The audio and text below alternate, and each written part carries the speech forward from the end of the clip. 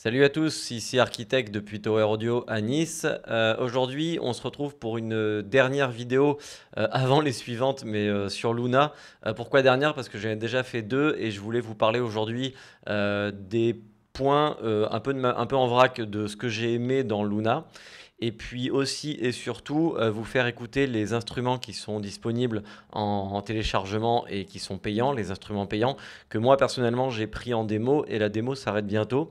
Donc après je pourrai plus vous les faire écouter. Donc euh, la première partie de la vidéo ce sera concerné aux petits, euh, aux petits tips et aux petits trucs que j'ai aimé dans, dans Luna. Et la deuxième partie, ce sera vraiment exclusivement pour écouter les instruments. Donc le Moog, écouter les samples de Spitfire et puis aussi, j'ai fait un petit test, euh, je vais vous le faire écouter tout à la fin de la vidéo. Euh, j'ai comparé euh, le Moog donc de UAD avec le Moog d'Arturia et le Monarch de Native Instruments. Et on va voir qui c'est qui s'en sort le mieux. voilà, donc on commence tout de suite avec les petits, les petits tips en vrac. Alors il n'y a pas vraiment, j'ai pas, j'ai pas planifié ce, ce tuto, c'est un peu comme ça en vrac. Donc il n'y a pas forcément d'ordre euh, à suivre, mais en tout cas voilà, je vous les donne. Euh, alors déjà, ce qui est sympa, bon déjà là, je vois, je, navigue ici dans ma console. Ici, je vois qu'ici ça s'allume et ça s'éteint. Donc quand je clique quelque part, tout simplement, je peux accéder euh, à mes sorties, mes queues, mes send, insert, voilà. Et si j'ai de, la, place pour afficher plus de choses, il me montre ce qui m'affiche en commençant par le premier sur lequel je clique. Bon, c'est tout bête, mais ça permet de gagner du temps. après, je peux aussi, là on va le voir par exemple dans ici dans les, consoles, euh, enfin les, tapes, euh, je peux agrandir ou réduire euh, la taille de certaines, certaines fonctions, enfin, par exemple en l'occurrence les tapes, et ici je vois que j'ai des petites options qui s'affichent en plus. Donc ça permet de gagner un peu de place. Pareil pour les plugins, je peux, les afficher en petit ou en grand avec des petites images. À savoir que les petites images, elles sont valables pour les plugins UAD et pas pour les plugins tiers. Par exemple ici j'ai mis un, un, ozone euh, maximiseur, euh, il n'y euh, a pas d'image qui s'affiche. ensuite, alors là, vous voyez, j'ai tout fermé, justement. Et là, j'ouvre tout. Donc ça peut permettre de gagner de la place aussi. Je peux tout mettre en small ou je peux tout mettre en large, à condition que ce soit ouvert. Voilà, tout est en large, tout est en small. Alors je vois ici, justement, en haut, j'ai bien les instruments UAD qui sont avec des logos. Euh, et c'est pas le cas euh, sur, euh, sur, par exemple, Captain Cord que j'ai mis ici. Donc voilà, peut-être ça va arriver plus tard, ça serait bien. Ce serait bien qu'on puisse le faire nous-mêmes, ou alors moi que j'ai pas vu dans la notice, dites-moi. Je crois pas qu'on puisse enregistrer un screenshot. Ça viendra peut-être, peut-être. voilà, donc ça, le petit truc sympa. Ensuite, toujours qu'on est dans la console, ce que j'ai trouvé cool, c'est que je peux ici rajouter un effet. Donc je vais prendre par exemple, si j'ai envie de mettre un, Pro, alors je vais pas le faire avec un Pro Q3, mais avec un, un, 3 bandes de chez euh, Kilohertz, si je le retrouve. Alors la recherche, je la fais ici. Voilà, je tape bande EQ. Voilà, 3 bandes EQ. Alors si je clique dessus, vous voyez qu'il se met euh, sur la piste qui est sélectionnée. Je peux sélectionner plusieurs pistes avec Shift et appliquer donc mon euh, EQ sur les pistes sélectionnées. Voilà. Ou alors je peux aussi décider, ce qui peut arriver souvent, de mettre un, par exemple un Fab Filter ou, autre euh, sur toutes mes pistes. Dans ce cas, j'appuie sur All ici. Voilà. Et euh, il charge ici en, pré-réglage tout. Donc ça, c'est plutôt cool. Ça peut faire gagner du temps. Alors à chaque fois, c'est les mêmes. Hein. et ensuite, toujours dans, dans, le même optique, je peux appuyer ici sur le bouton Power, ce qui me permet de désactiver comme ça en cliquant. Alors là, ils se sont tous désactivés parce que toutes ces pistes-là sont sélectionnées, on le voit en noir. Ça active et ça désactive. Donc ça, c'est cool pour faire une comparaison AB sur un groupe, par exemple, quand vous mettez euh, des effets sur un groupe. Euh, et sinon, si rien n'est sélectionné, alors je crois, je ne sais pas si je peux rien sélectionner, je suis obligé d'en sélectionner qu'une. Voilà. Euh, donc je fais Power. Et en fait, le fait de faire glisser ma souris, voilà, ça les éteint. Donc ça c'est cool. Euh, j'ai pas bien vu ce qui s'est passé, j'ai l'impression que ce sont tous éteints d'un coup. J'ai pas bien compris pourquoi. Je vais recommencer. Non, c'est ça. Il faut faire euh, glisser, voilà, ça me permet d'éteindre, d'éteindre ou d'allumer. Donc ça c'est intéressant. Euh, ensuite, dans le même esprit, j'ai Remove qui me permet d'enlever des plugins facilement. Voilà, sans avoir à cliquer dessus, faire remove et compagnie. Euh, ou tout simplement, pareil, en cliquant glisser, j'arrive à tout supprimer d'un coup. Donc ça, c'est intéressant aussi. Pareil copie pour copier des plugins de l'un à l'autre. Alors je vais en, remettre un ici. Voilà. Ben, je les ai remis partout. hop, je me suis perdu. Alors j'en profite là vu que je suis perdu. Ici, quand je clique sur une piste là, j'ai ma roue colorimétrique, on va dire, on va appeler ça comme ça, qui s'affiche et qui me permet de mettre une couleur sur ma piste. Ok, bon là rien de. Il faut bien euh, penser à cliquer sur Done pour partir de ce menu. Euh, donc je disais ici si je je vais le mettre là, je vais le dupliquer avec le bouton Alt. Je vais sélectionner ça et si je fais copie, voilà, ça me permet euh, de copier facilement. Voilà comme on le voit là. Alors là il n'y a rien, ici de copier facilement mes réglages d'une piste à l'autre. Donc c'est sympa, c'est plutôt cool. Euh, je vais les enlever, remove, voilà. Et ainsi de suite, je les vire. Voilà, alors je pourrais très bien, bien sûr, sélectionner ici toutes mes pistes. Alors on voit que j'ai un petit bouton remove aussi, ça m'enlève tous les effets qui sont sur ma piste.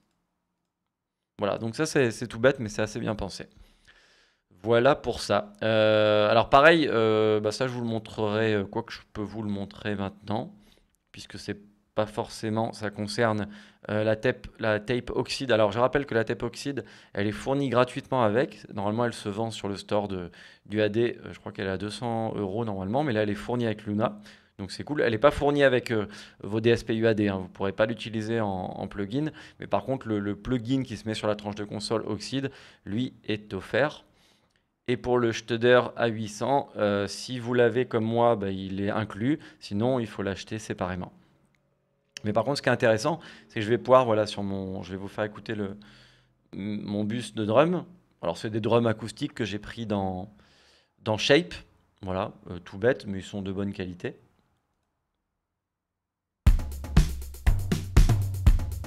Donc là, je sélectionne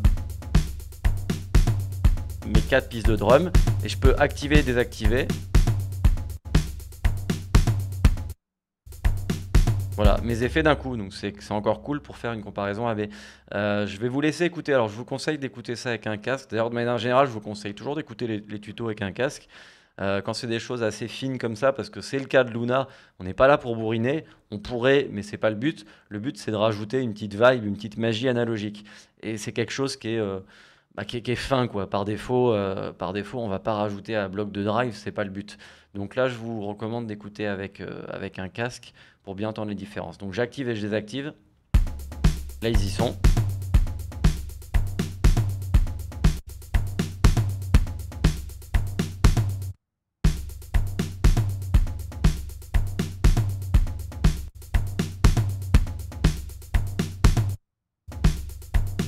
Alors moi je trouve que ça apporte un, gros plus, ça glue les éléments ensemble, euh, ça apporte un peu de saturation, ça compresse, c'est-à-dire que les sons sont un peu plus, euh, un peu plus écrasés, euh, il y a moins de, moins de dynamique, mais c'est plutôt, plutôt bien, en tout cas moi je trouve là dans ce cas-là.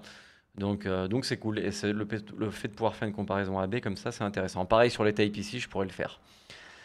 Euh, voilà pour ça. Ensuite, euh, ensuite, ensuite, qu'est-ce que je voulais, je voulais vous parler? Ah oui, euh, alors on va, aller, un peu ici dans la partie arrangement.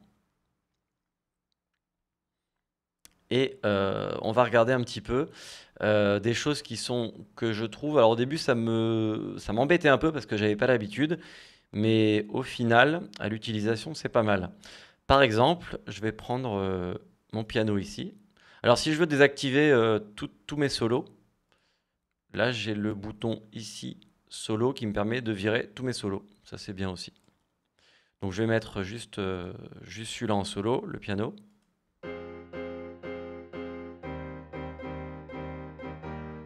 Je vais monter un peu le, un peu le son peut-être quand même. Alors euh, tout ça, ça passe dans mon bus instrument, donc je vais monter le bus instrument.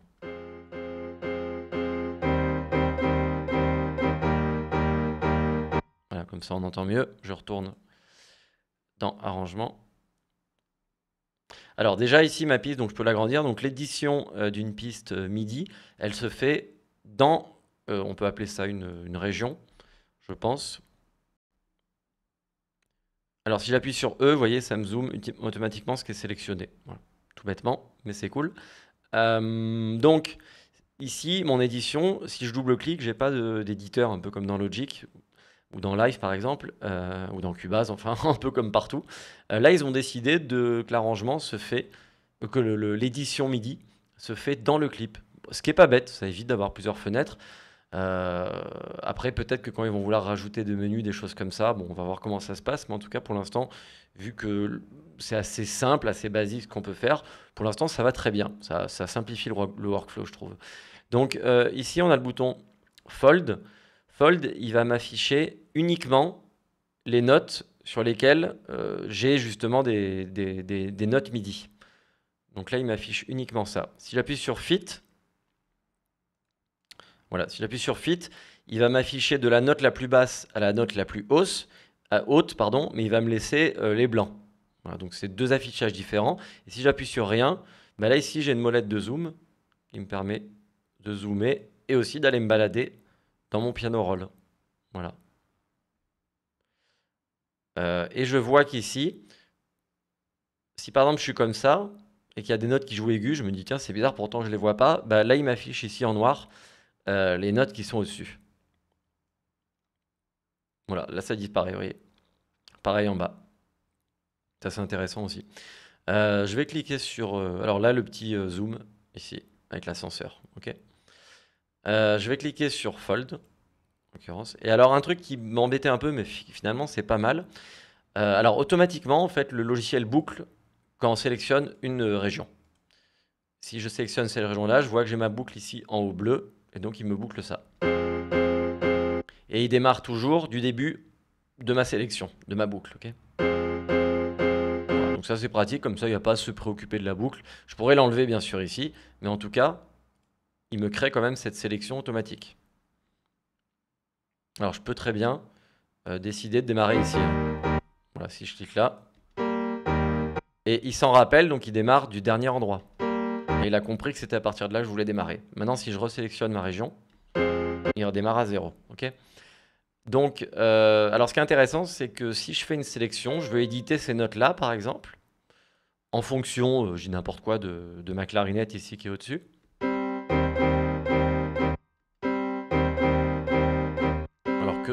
Que, j'entends pas. Comment ça se fait que je l'entends pas? Bon, euh, je vais aller sur le tuba. ok, peut-être elle joue trop haut en fait. donc il faudrait que je, la baisse je baisse la note MIDI. Donc là, imaginons que je veux, euh, euh, je suis en train de faire de l'édition et je veux éditer mon accord ici en fonction euh, voilà, de mon tuba qui joue ici. Ça permet en même temps d'écouter un petit peu les, banques. Ça, c'est les, ça, c'est les instruments Spitfire qui sont payants. Tout, là ici. Hein. J'ai fait exprès de mettre que cela pour, pour cette petite démo. Alors il faut que je remette la boucle, sinon vous voyez que il s'arrête et puis ça boucle pas. Voilà, donc ce qu'on voit, c'est que quand je sélectionne des notes MIDI, bah, il va automatiquement aller me boucler la partie que je sélectionne.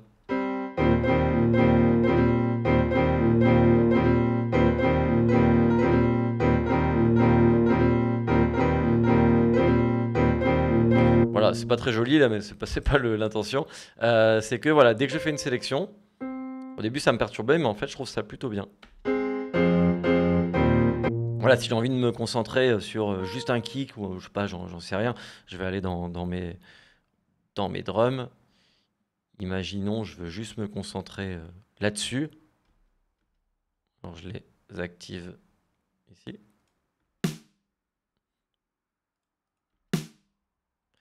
Alors là, il boucle pas. Peut-être un peu trop court. apparemment, voilà, quand c'est trop court, là, il veut pas boucler. Il y a peut-être un réglage, je sais pas. Euh, ça, j'avoue que je m'en étais pas rendu compte. Bon, pourquoi pas, j'aurais bien aimé qu'il boucle. Est-ce que si je zoome... Alors là, ici, j'en profite, j'ai la taille de la grid. Euh, ici, euh, pour inscrire mes notes MIDI. Donc là, je suis en 1 huitième, un quatrième, ainsi de suite.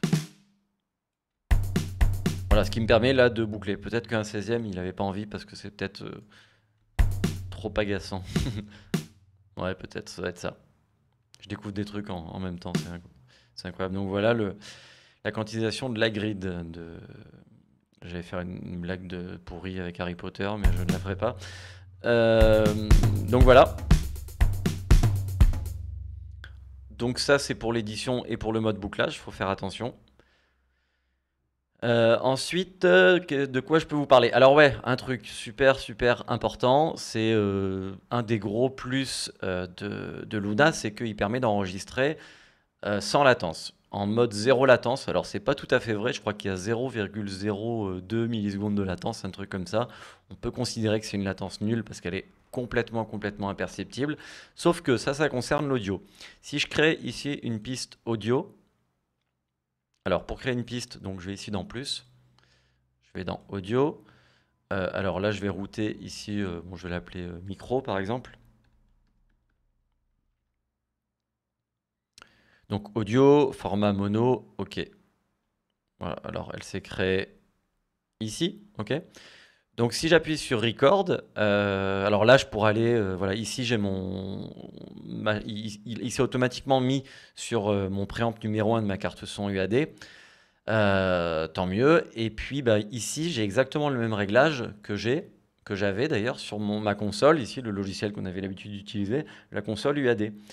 Avec ici mon SSL Channel et puis mon, mon BX Master Dex d'ailleurs qui est, qui, est, désactivé là pour le moment. Donc je retrouve mes trucs et je peux contrôler ici le préampli de mon micro. Donc je peux contrôler, j'ai plus besoin finalement d'ouvrir ça puisque c'est directement intégré dans Luna. C'est l'avantage, c'est que le, comme Luna il fonctionne étroitement avec, avec UAD, avec, le, avec ma carte son Apollo, pardon, euh, et bien justement, ça permet de faire ça. Finalement, Luna, c'est un petit peu comme si c'était, euh, comme s'ils avaient rajouté à ça euh, bah, un, séquenceur et une, partie arrangement, quoi, la partie arrangement qui est ici, voilà. Euh, ça reviendra un petit. Alors bien sûr, je schématise complètement, mais on retrouve ça avec le mode finalement zéro latence qu'on avait hein, euh, dans cette console, puisque dans cette console, quand je mets des plugins ici et que, que j'écoute ici, là, alors là je suis en mute parce que je n'ai pas envie d'écouter ma voix pendant que je fais le podcast. Là, là je l'entends. donc donc tout ça pour dire que le mode zéro latence, on l'avait ici. Mais là, l'avantage, c'est qu'on le retrouve dans, dans notre séquenceur. Donc, euh, si, euh, si, je mets mon micro, alors je peux faire mes réglages, activer le 48 volts, euh, mettre un, coupe bas, etc. donc, ici, si je veux m'enregistrer en no latence, et c'est là que c'est intéressant parce que les musiciens, alors une chanteuse ou un musicien qui veut jouer de la gratte ou je sais pas du bongo ou n'importe quoi, ben, il va pouvoir se faire un retour au casque et s'entendre jouer, s'entendre groover en temps réel. Et ça, aussi parce que la carte permet, si je vais dans la console ici, que je descends et que je vais dans Q, eh bien je vais pouvoir, euh, par exemple cette piste-là, mon micro, la router vers euh, la prise, la sortie casque 1 de ma carte son, ou la sortie casque 2 de ma carte son. Euh, ce qui fait que je vais pouvoir faire des envois dans les micros, dans les, sorties euh, casques de ma carte son. Par exemple, si j'ai une chanteuse euh, et un guitariste, je vais pouvoir au guitariste lui envoyer le retour de sa guitare à lui et la chanteuse lui envoyer le retour de sa voix dans son micro. Avec de la reverb, par exemple, que je vais mettre ici dans, pardon, dans micro, pardon, j'étais là, hein, je m'étais trompé de piste, mais c'est pareil. Ici dans insert, si je mets un plugin UAD, et attention, uniquement un plugin UAD, euh, je vais pouvoir envoyer de la reverb ou un autotune par exemple, ça c'est génial, c'est que je vais pouvoir mettre euh, autotune ici et donc que la, chanteuse ou le chanteur s'entendent avec autotune en temps réel. Ça c'est juste top. Alors bien sûr, il pouvait le faire avant, avant ici avec euh, la console, mais là je le fais directement dans le, dans le dos, quoi, donc dans le séquenceur, donc c'est ça qui est cool. et, et donc, donc je disais attention de bien mettre un plugin UAD parce que si je mets un autotune, par exemple l'autotune qui n'est pas UAD, bah, quand je vais faire un record et que je vais activer le zéro latence, il va me bypasser euh, tous les effets qui ne sont pas les effets UAD calculés par la, carte par les DSP UAD. Il va aussi désactiver la saturation, les tapes ici qui sont calculés par le CPU, euh, et il va aussi euh, enlever tous, les, tous les effets qui ne sont pas donc tous les effets qui ne sont pas UAD. Si je mets une reverb ici, une reverb là par exemple, euh, elle va se désactiver au moment de l'enregistrement, ce qui peut être embêtant. Et donc, ce qui est cool, évidemment, c'est que je vais pouvoir envoyer une reverb avec, dans le casque numéro 1 à ma chanteuse avec son, son autotune et à mon guitariste, je vais lui envoyer euh, une saturation d'ampli UAD avec un, euh, dans son casque et tout ça en zéro latence. je vais pouvoir envoyer aussi, par exemple, un peu, de, voix, mais pas trop plus à guitare. Enfin bon, après faire du routing un peu complexe. Ça ici, euh, ici dans Q, voilà, j'ai mon Q qui s'affiche avec mon casque 1, mon casque 2. Et ici, je peux faire des trucs un peu plus complexes. Bon, je vais pas entrer dans les détails, mais en tout cas, euh, ça, c'est vraiment top. Euh, voilà pour ça. Alors, donc ce qu'il faut savoir, c'est que quand je, quand je, je m'enregistre ici, j'ai pas pour le moment activé le mode euh, ARM. Euh, alors je sais plus, c'est un acronyme de je sais plus quoi, euh, c'est marqué dans la notice. mais ARM, en tout cas, bon, ça veut dire mode sans latence, en gros, si je traduis ça. Donc ici, je clique là sur le petit bouton violet et j'ai le mode ici ARM, ok? Je clique dessus. Alors là, attention, il se passe un truc. Un petit panneau qui s'affiche avec marqué mono 15, stéréo 7. Alors qu'est-ce qu'il veut dire par là? Attention parce que ça, ça concerne le modèle de votre carte son. Euh, votre carte son, donc moi j'ai une Apollo 8, dispose de 16, 16 euh, mono ou 8 stéréo. Alors là c'est marqué 15 et 7, je vous, je vais vous expliquer pourquoi. Mais en tout cas, au maximum, elle dispose de 16 mono ou de 8 stéréo. Attention, parce qu'avec une carte euh, Arrow, je crois, que ça en dispose que d'un stéréo et de deux mono. Donc ça, il faut voir votre carte son, combien elle permet de choses. Mais de toute manière, c'est de pair avec les entrées, puisque euh, sur la sur l'Arrow, il n'y a que une entrée stéréo.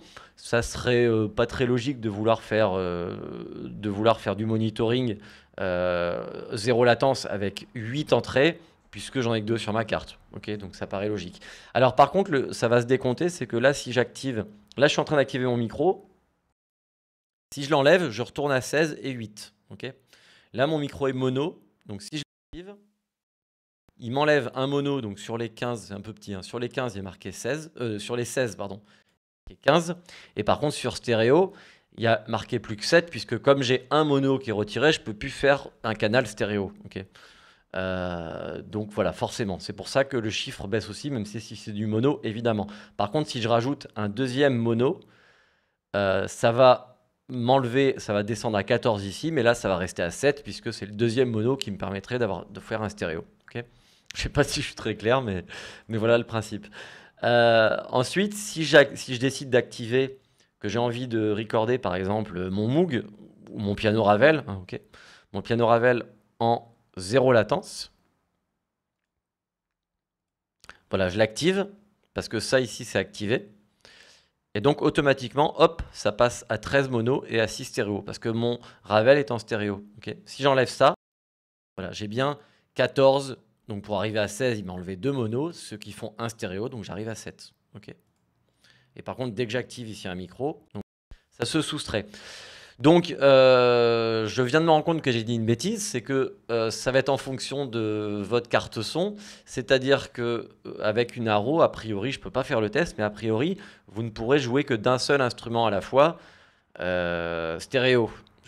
Là, je peux activer, si j'ai envie, je peux jouer à la fois du Moog et à la fois du Ravel en, zéro latence. Ça pourrait être intéressant si dans mon studio, j'ai deux, deux, gars qui sont au clavier un qui est à la drum machine, un autre qui est à la guitare et un autre qui est au chant. Pourquoi pas? De toute façon, ce logiciel, il est quand même orienté pour ça. Hein. Il est fait pour les icos. Hein. Euh, le but, c'est de retrouver du, bah, de pouvoir, de pouvoir euh, s'enregistrer en, comme ça en live, de pouvoir groover sans se prendre la tête avec la latence, ni avec le buffer, euh, ni avec plein de trucs, avec un logiciel simple, avec un son de malade. Donc le logiciel, c'est vraiment dans cette optique-là. On n'est pas là pour, pour faire comme dans live ou autre, à faire de la musique au clic, enfin au clic de souris. Euh, où on n'est pas vraiment des musiciens et où la latence, on s'en fout un peu, euh, parce que on, bah, on groove pas. Là, vraiment, c'est pour... Euh, J'entends, j'ai pas de signal sur mon Ravel. Ouais, c'est bon, normalement vous l'entendez. donc là, ici, bah, je suis en, zéro latence. Bon, là, évidemment, vous en rendez pas compte parce que vous ne me voyez pas jouer du piano, mais quand j'appuie, il y a un son qui sort. Alors là aussi, pour, le, pour le, un instrument virtuel, que ce soit les instruments de, de, UAD qui sont, en, qui sont vendus, vendus avec ou, ou avec le, le, shape qui est offert avec. J'ai fait une vidéo sur le shape, hein, je vous invite à aller la voir, les, sons sont vraiment magnifiques sur le shape. Donc que ce soit les instruments fournis avec UAD ou vendus, ou alors ici un mini V3 qui est fait par, par nos amis grenoblois d'Arturia. Euh, voilà, je l'ai mis en 200%, c'est pour ça qu'il s'affiche en gros.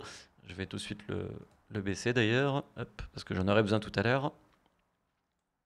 Voilà, donc, oh, le joli bug, je peux dessiner ici. Merci Arturia, va-t'en. Voilà. Euh, c'est encore une version 1.1. Donc 1.01 même, je crois.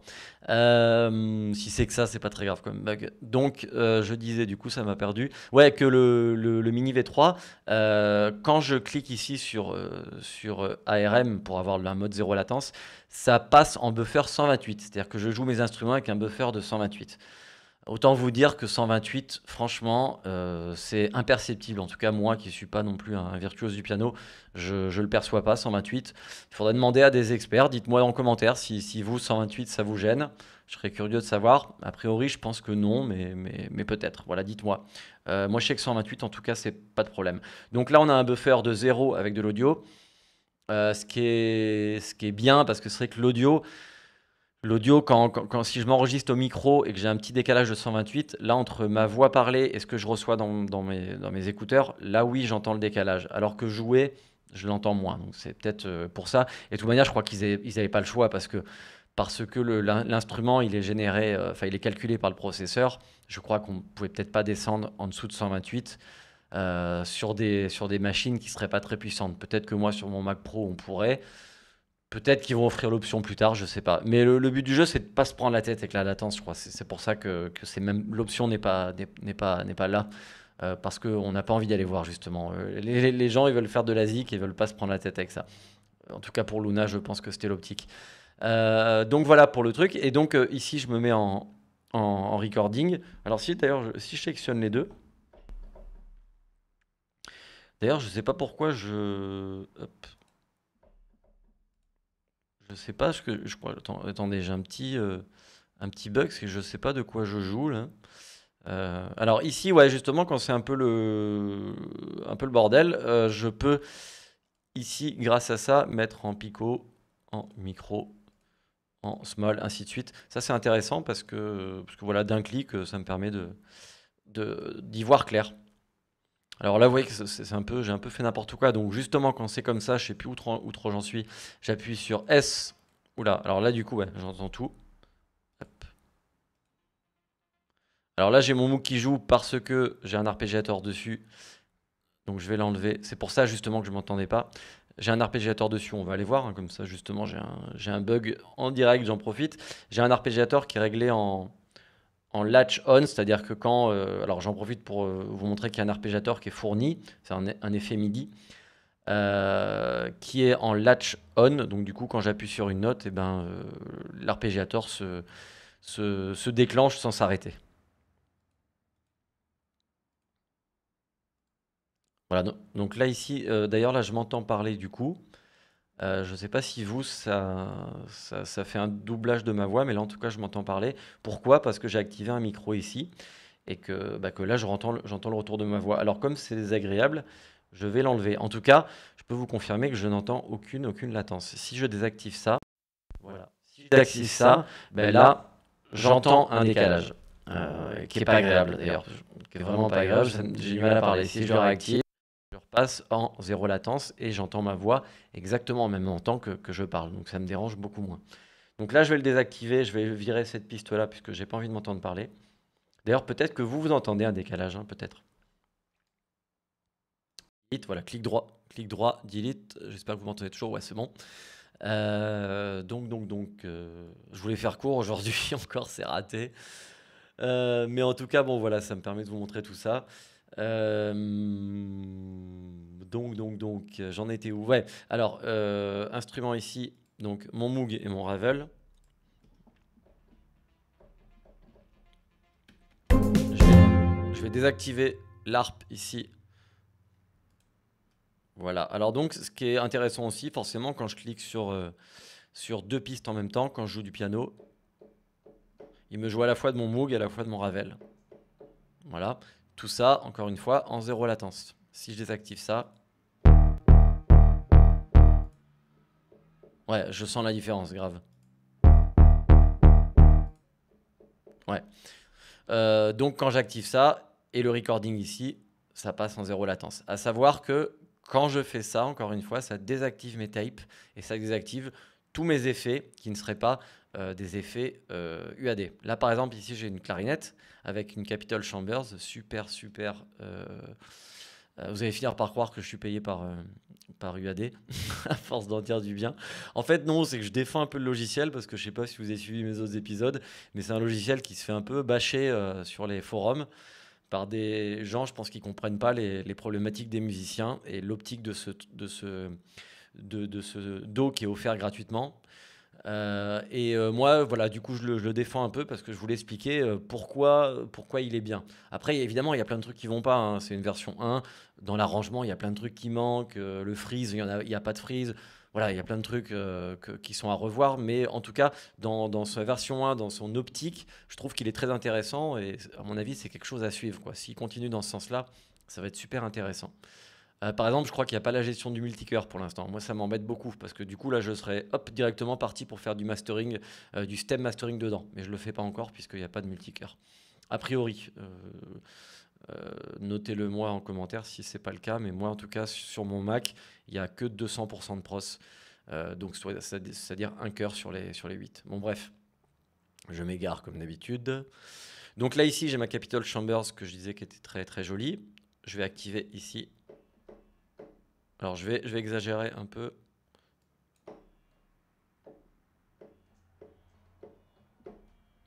Ok, je désactive ARM. on,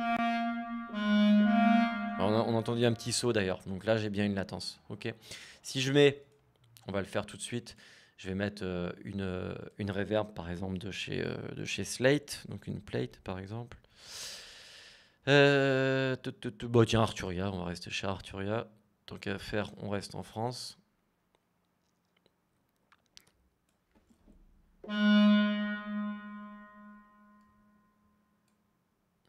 Alors, est-ce qu'elle est activée là? Je la mets au maximum. Je vais enlever celle-là pour pas. Ok. Donc là, j'ai bien la reverb d'Arturia c'est mon son normal. D'ailleurs, elle est super belle cette reverb. J'ai fait une, vidéo aussi euh, sur cette reverb qui était offerte gratos. Elle est superbe. Euh, donc voilà, alors. Voilà, alors on entend bien la reverb. Ok, je vais, je vais l'exagérer exprès. Hein. Ok.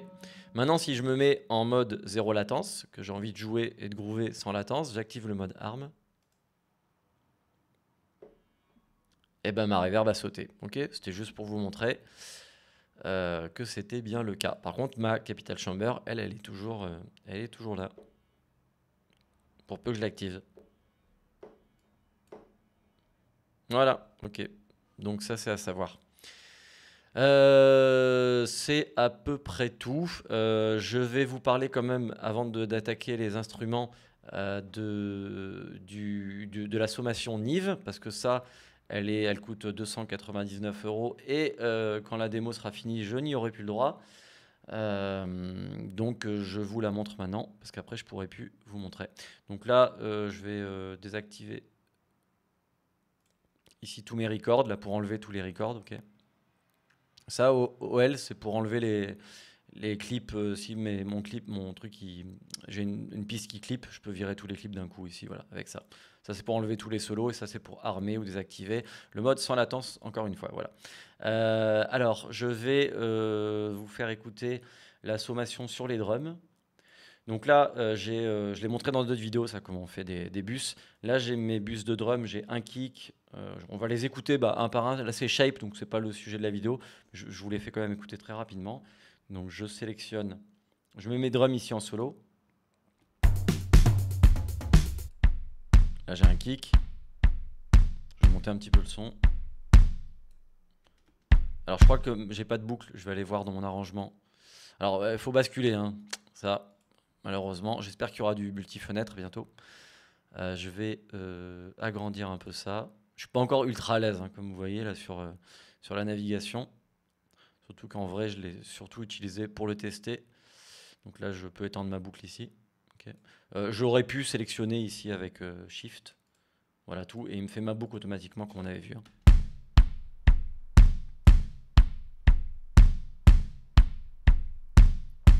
Donc là, j'ai un kick,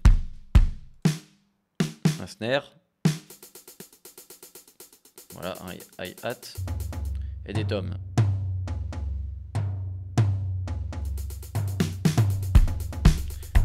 Alors, donc comment ça se passe? Le signal ici euh, des drums est routé grâce à ce bouton qui est là, ici, drum. Euh, je peux évidemment tout sélectionner. Je vais le faire, hein, comme ça je vous montre. Euh, je clique sur drum et là il me propose mes routages. Donc là j'ai créé un bus qui s'appelle drum 1, donc ici. donc là, j'envoie tout ça vers mon bus drum dans lequel j'ai mis une sommation Nive. ok? Là, ici, j'avais juste des studers. Je ne peux pas mettre de tape ici. Hein. Je peux mettre de tape que sur, euh, que sur des, voix. Là encore, on retrouve le côté analo puisque, euh, a priori, euh, les tapes, on ne les mettait pas, encore une fois, dites-moi si ce n'est pas le cas, mais les tapes, on ne les mettait pas sur des, des bus. On les mettait sur, chacune des pistes. C'était le but. Encore une fois, alors j'étais pas là à l'époque, donc je dis peut-être des conneries. Confirmez-moi ou infirmez-moi ce que je dis, mais il me semble que non, puisque là en tout cas il propose pas. Euh, donc là ici j'ai mes tapes euh, que j'envoie donc dans le bus qui lui a une sommation Nive. Une sommation, donc c'est en gros une addition de, de, tous ces canaux. Donc je vais activer, désactiver la sommation. J'ai pris soin, alors ça ici c'est le, j'ai rajouté un peu d'harmonique pour faire saturer. Et le trim, j'ai baissé le volume pour que quand j'active et que je désactive euh, ma sommation, je n'ai pas de différence de volume. Puisque ça, faut faire très attention parce que euh, quand ça sonne plus fort, bah, ça sonne mieux. On a l'impression que quand c'est fort, c'est mieux, alors que c'est souvent, enfin, c'est pas souvent pas le cas, mais en tout cas, c'est n'est euh, pas forcément le cas. Donc, il faut faire attention à ça. C'est très important de, refaire son gain, enfin, son, son headroom, entre guillemets, pour que quand on active et on désactive un plugin, quel qu'il soit, on soit bien au même niveau. Sinon, c'est trompeur. Donc je vais l'activer et le désactiver. Alors attention, c'est subtil, encore une fois, on n'est pas dans du bourrinage. Euh, prenez un casque pour mieux euh, apprécier tout ça. Donc je vais désactiver, je ne vais pas parler. Euh, et je désactive et désactive ça.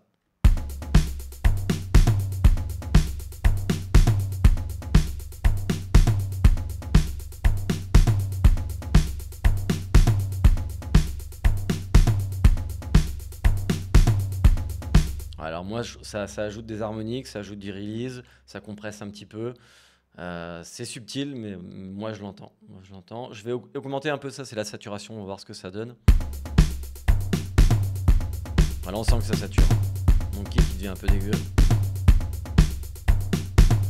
Alors j'ai pris volontairement des, trucs acoustiques là, qui viennent de Shape euh, parce que du coup, on, vu que c'est enregistré, alors contrairement à une boîte à rythme euh, où le release euh, ne dépend pas de la pièce, là ça a été samplé, donc il y a des réverbes, on l'entend dans les tomes.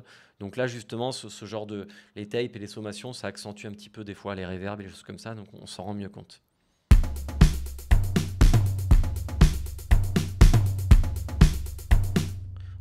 Alors, ce qu'il faut savoir, c'est que mon drum ici part dans mon main, mon master général, dans laquelle j'ai rajouté là aussi une sommation Nive.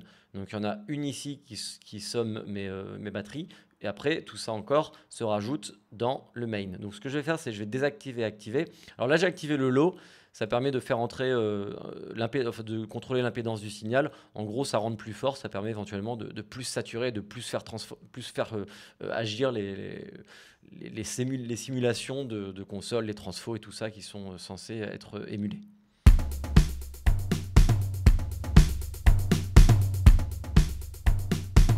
Voilà, là on récupère de la patate.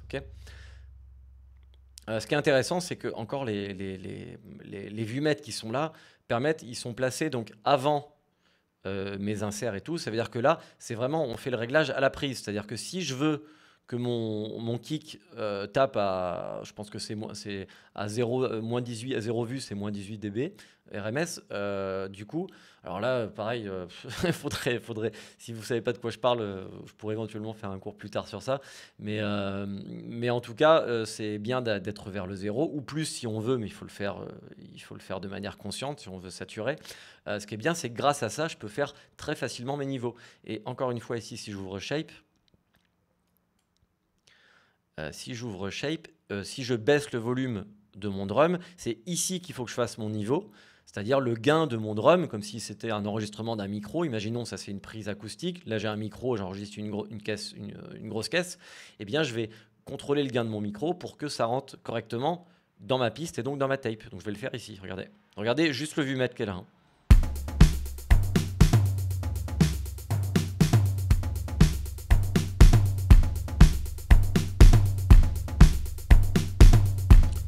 Là je suis bon. Alors j'avais volontairement euh, fait plusieurs, euh, je vous l'ai fait écouter rapidement. J'avais volontairement euh, sur Shape fait des, drums, je vais juste les mettre en solo. fait plusieurs. alors la vélocité c'est ici, voilà. Pour voir un peu comment ça donnait, juste les samples qui sont dans, Shape. Les samples de drum, on voit bien qu'ils ont été samplés avec des vélocités différentes, puisque si on l'écoute tout seul, écoutez.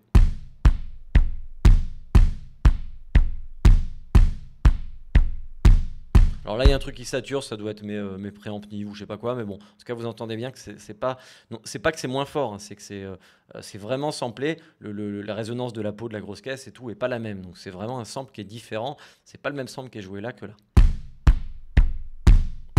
Voilà, c'est pour ça que mon groove de batterie est pas stable, hein, mais c'était pour le, justement pour tester. Euh, je retourne dans je m'éparpille, je m'éparpille, je retourne là-dedans. Et donc je disais, voilà, euh, mon, mon niveau, il faut que je le fasse bien en amont. D'ailleurs, je ne les ai pas bien fait, là, comme on le voit, puisque dans l'idéal, il faudrait que je règle le son ici de tous mes shapes pour que j'arrive au zéro ici, que je profite, on va dire, de toutes les qualités euh, de saturation d'une tape pour que, pour que j'arrive à zéro, ou plus encore une fois. Mais là, par contre, j'ai envie de, de, de- de- la saturation de ma tape. ok? Vous voyez que mon, mon snare est pas du tout assez fort là, je devrais monter plus haut quoi. Et là les, les hi-hats, j'en parle même pas. Donc normalement je devrais faire, euh, là on entre un peu dans un truc de mixage, mais tout devrait toucher à peu près le zéro. Donc tout serait à peu près à volume équivalent et c'est avec ici mes faders que je, que ferai mes niveaux. Parce que les faders ils servent, à ça, ils servent pas à baisser le volume. Euh, je vous invite à aller voir ma vidéo sur live euh, où je parle justement de ça. Euh, parce que j'ai trouvé une technique dans live qui permet de faire du, du post et du pré-fader. Euh, donc je vais activer et désactiver mes deux sommations qui sont ici. Donc je vais sélectionner mes deux pistes et activer comme ça et activer les sommations. On va écouter la différence. Donc là il y en a une ici plus une deuxième. Donc ce sera un peu plus fla- flagrant encore pour ceux qui n'ont pas entendu.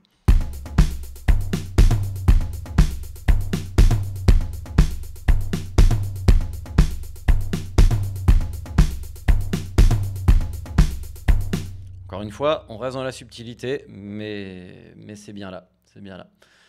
Euh, voilà, parce qu'après, si on veut saturer plus, on utilise des saturateurs, ou alors on bourrine dans les tapes ou autre chose. Là, on est pour euh, gluer un mix et pour faire du mix. Voilà. Là, c'est que sur 4 pistes. Alors, ça sera encore plus valable si je commence à, faire euh, 16 pistes de batterie euh, euh, et là, tous les instruments, mais ça, je vais vous montrer. Donc voilà un peu pour, euh, pour la partie euh, vraiment qui concerne euh, bah, le workflow dans, dans, dans, dans, dans- Luna. Pardon. Et vous voyez qu'il est quand même très différent d'un workflow d'un autre, autre séquenceur. Il a vraiment ses particularités.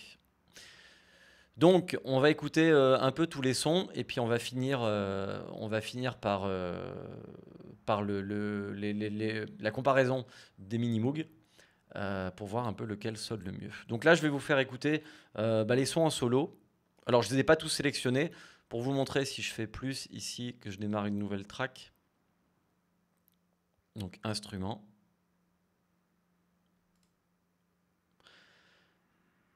Euh, donc, ici, j'ai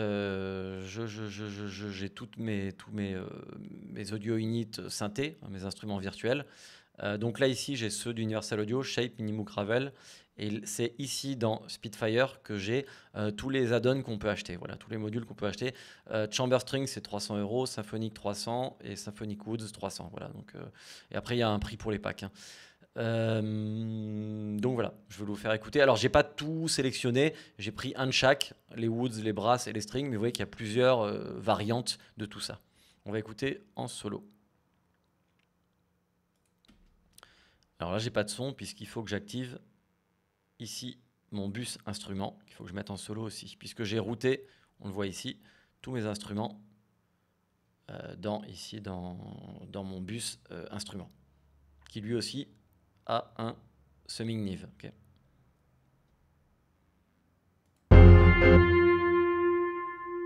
Alors pourquoi on entend tout? Je fais une petite bêtise, je vais virer euh, mes, mes drums.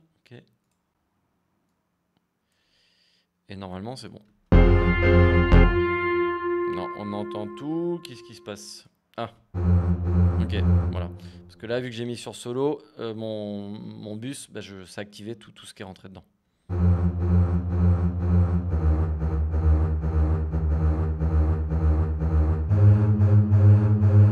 Ouais, alors la composition, franchement, c'est pas terrible. J'ai fait ça juste rapidement avant de, avant de faire le tuto. Ah, c'est juste pour avoir euh, voilà, une idée de, du type de son. C'est toujours les mêmes notes, il y a plus ou moins des accords ou pas, puisque suivant les instruments, on peut jouer des accords ou non. Euh, donc, euh, donc voilà, c'est rien de ouf, mais c'est vraiment pour écouter le, grain des, sons. Hein, là, je peux faire un accord, par exemple, ici. Mais là, j'ai décidé de jouer qu'une note. Alors, je vais passer ici là, les, techniques un peu de, jeu. Euh, à chaque fois, ils, vont se retrouver pareil. On a l'expression qui correspond, on va le voir tout de suite.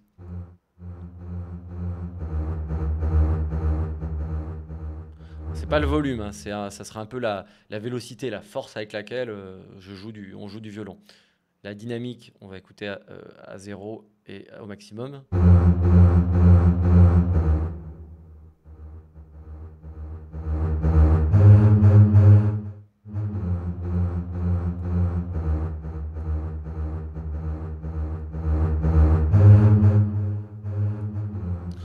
C'est assez subtil aussi, mais il y a une différence entre la dynamique et l'expression.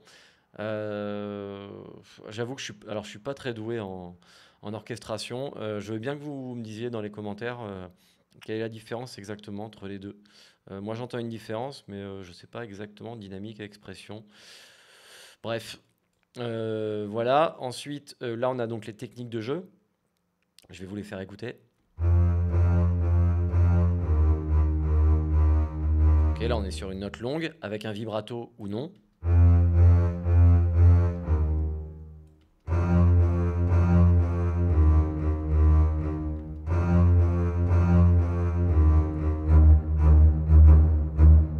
Alors vous voyez que là, du coup, de passer comme ça, ça me, j'ai fait exprès de pas le prononcer pour pas faire de, faute.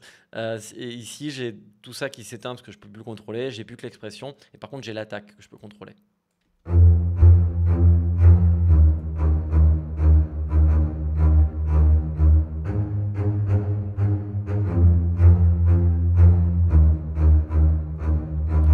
Pareil, euh, c'est assez subtil, mais ça s'entend. Bon, je, la panoramique, le tuning, ça, je vais pas m'attarder dessus. Je passe vite fait tout ça.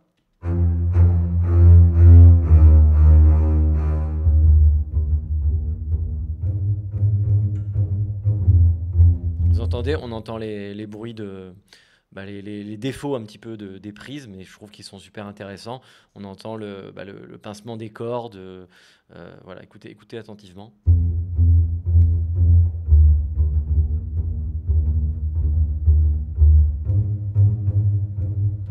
Ah, là, on y est, hein. c'est super bien enregistré. Oh, c'est pas joli ça. Je sais pas pourquoi ça fait ça. Je vais jouer qu'une note. Ouais, voilà, ok. Parce que là, il vaut mieux maintenir la note.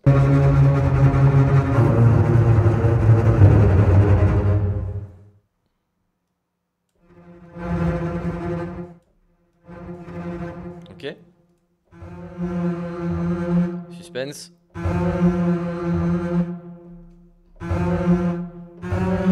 Voyez qu'ici, Euh, si je clique ici sur mon piano, il n'y a pas de, son qui joue puisque euh, là on est, sur, on est sur quelque chose de grave, un instrument qui va jouer dans les graves, donc ça, ça rimerait à rien de le pitcher jusque là. Et alors là ici, je vais baisser, excusez-moi, mon clavier. Voilà. Encore. Voilà, donc ici, avec euh, mes notes de mon clavier, ici en bas, je peux aller euh, bouger mon jeu. Donc ça, c'était super intéressant. Euh, parce qu'en maintenant une note, je vais pouvoir changer mon jeu. Donc avec les données MIDI sur une même piste, je vais pouvoir aller changer de jeu. Donc ça, c'est top. Bon, il n'y a rien de nouveau, hein, ça, existe, ça existe chez Native Instruments, tout ça, mais, en tout cas, c'est bien qu'il y soit.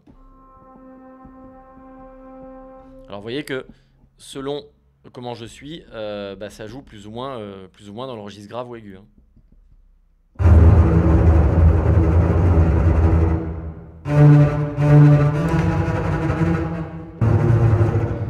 Vous entendez qu'il y a une reverb Ça, moi, j'ai pas rajouté de reverb. Hein. Euh, alors, euh, à moins que ce soit la Capital Chamber, que je vais virer tout de suite. Euh, hum, hum, hum. Donc, on était dans. Je sais même plus où j'étais. je vais la virer. Mais non, je pense, je crois pas. Non, j'étais pas là, puisque j'étais dans, dans basse. Je vais virer ça, voilà, comme ça, pas d'erreur. Hop là, j'y retourne. Voilà, donc cette reverb, elle est, euh, elle est intégrée au, sample, quoi, enfin au, sampling, à l'instrument. Euh, donc c'est intéressant. Alors ça peut être embêtant parce que du coup je peux pas la contrôler puisqu'il y en a déjà une, mais euh, tant qu'à faire, elle est quand même super jolie. Et là encore une fois, on est dans l'optique d'aller vite, quoi, de, enfin d'aller vite, de, que ça sonne rapidement, quoi, sans, sans qu'on se prenne la tête. Ok.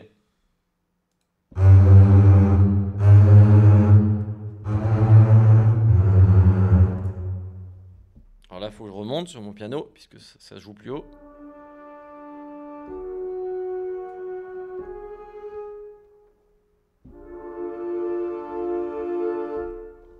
Ok.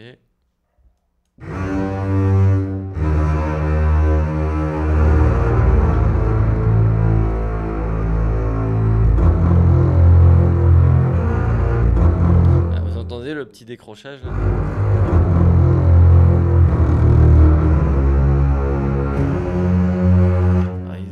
vraiment de super super qualité quoi. On peut, on peut, quelqu'un qui s'y connaît. Alors moi, je, je m'y risque pas parce que je m'y connais pas, mais quelqu'un qui, qui, qui veut faire de, du son à l'image, là, euh, bah, il y a tout ce qu'il faut quoi. Pour, euh. Alors là.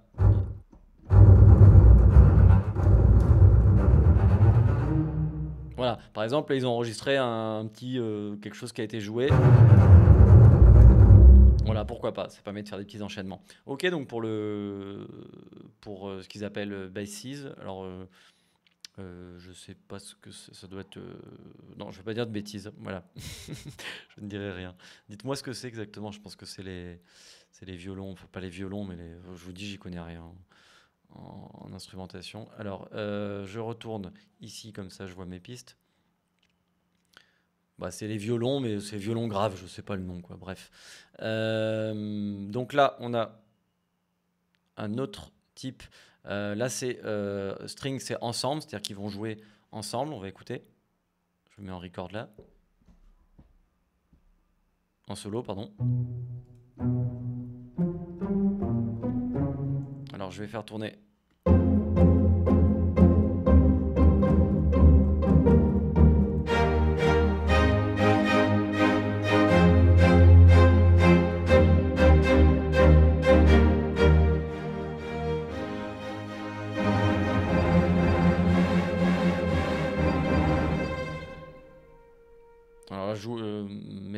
trop bas.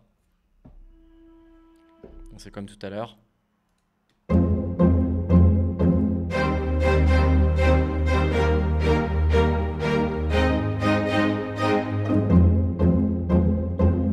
Super joli, encore une fois. Donc là, la, différence, euh, ici, je le vois là. euh, pour vous montrer. C'est dans Chamber Sing, voilà, basse, euh, cello.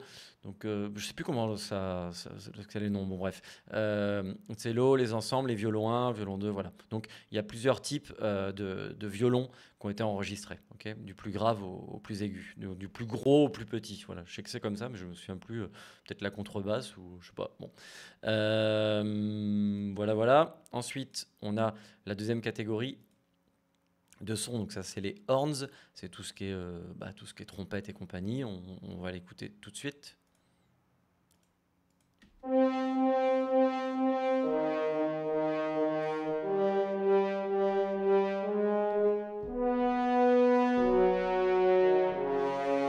vous reparle pas de tous les détails, hein, je vous fais écouter.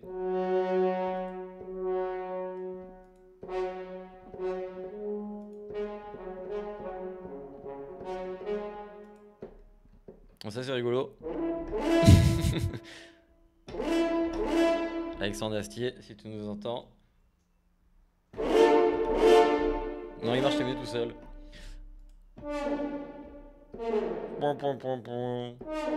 Voilà, c'est tout bête, mais moi ça m'amuse. Euh, bon, pareil, voilà, c'est super bien samplé. Euh, on va les laisser jouer un peu.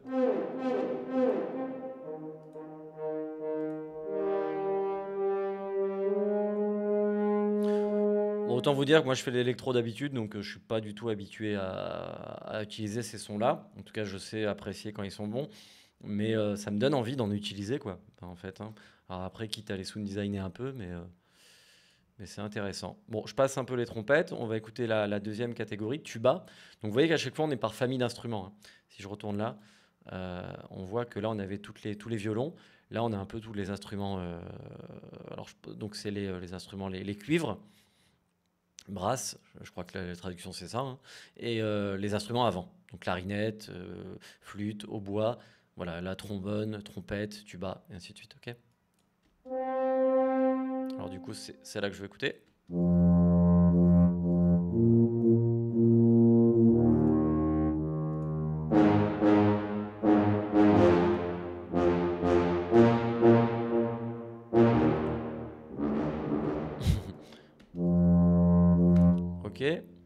Ensuite, donc les instruments avant. Donc là, qu'est-ce que j'ai mis? J'ai mis une clarinette. Christian Morin, tu nous écoutes, on t'embrasse.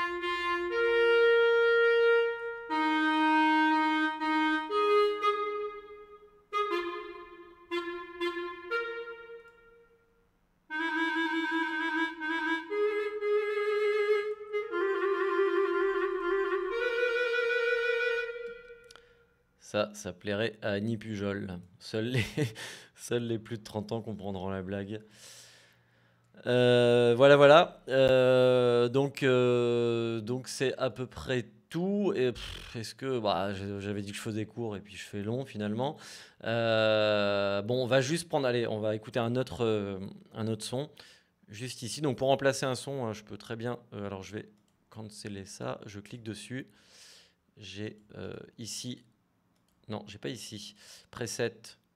Non, j'ai pas de preset. Comment je fais pour changer mon instrument? Euh, Plus. Voilà. Plus pour le remplacer. Euh, donc il n'y a pas de preset, hein, puisque les presets finalement c'est ça, c'est des différents, euh, différents sons. donc on va mettre une flûte, flûte euh, A2.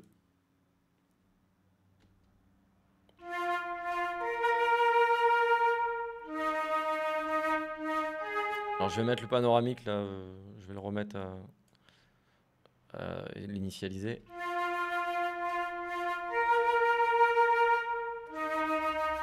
Ok, on va prendre un hautbois.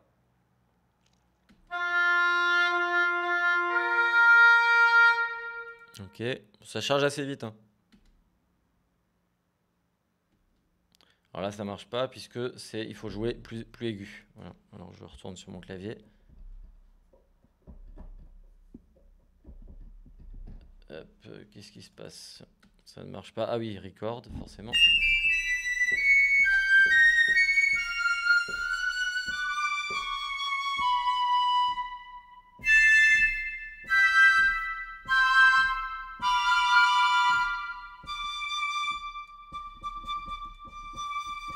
Voilà, pareil avec les différents jeux. Euh, je vais retourner, je vais retourner sur ma clarinette. Ok, parce que c'était comme ça. Euh, et puis bah là, euh, là pareil, alors je sais pas, tuba, qu'est-ce qu'on pourrait écouter? Allez, vite fait une trompette.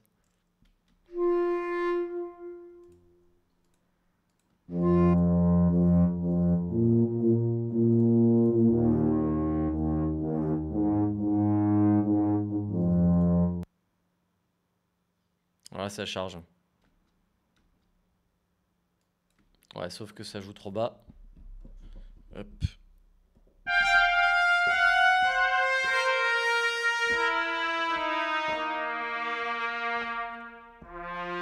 Ouais, un peu bizarre cette trompette. Trompette solo peut-être. Je déteste la trompette. Je trouve ça tellement laid. je vais pas me faire des amis. Quoi que j'avais vu euh, Ibrahim Malouf en concert là, à Nice. Euh, et, pour le coup, il en joue tellement bien, il est tellement virtuose que là, en concert, euh, j'ai trouvé ça génial. Mais par défaut, j'aime pas la trompette. Il y a des trucs comme ça des fois. voilà, voilà. C'est à peu près tout. Alors, je vous fais écouter rapide ma mélodie pourrie. ce que ça donne comme ça? Si. Donc, je vais pas mettre le piano. Je vais mettre que les, voilà, que les instruments de Spitfire. Je les mets en solo.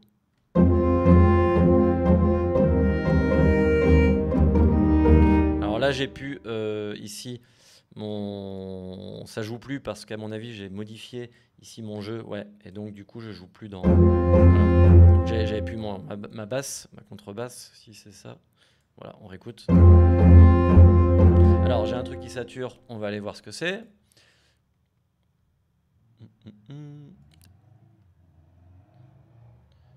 Pardon. Je suis pas encore super à l'aise. Hein. Alors je vais regarder un petit peu où ça sature.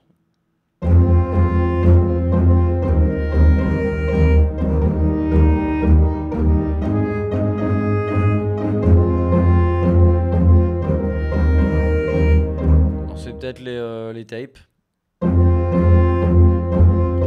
Ok, donc là je peux très bien justement les prendre, hein, comme ça je vous montre. Et je peux baisser ici euh, la saturation de toutes mes tapes.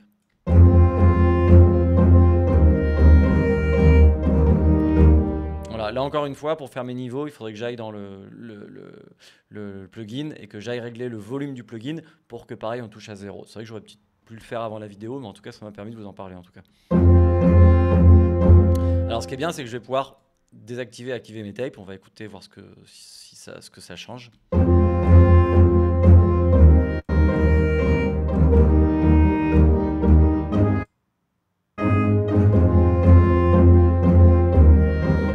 pareil, j'ai un truc qui joue plus, puisqu'à mon avis, j'ai changé mon jeu. Euh, je crois que j'avais mis une. Euh, je sais plus ce que j'avais mis. J'avais mis, j'avais mis euh, un tuba peut-être. Ça, c'était quoi? Ouais, j'avais crois que j'avais mis un tuba. Non, pas tuba, puisque ça, c'est un tuba. Je sais plus ce que j'avais mis. Du coup, je vais mettre un. c'est bien ça, un trombone. Non, une horn solo, un trombone, tiens. On va écouter. Comme ça, on écoute le trombone.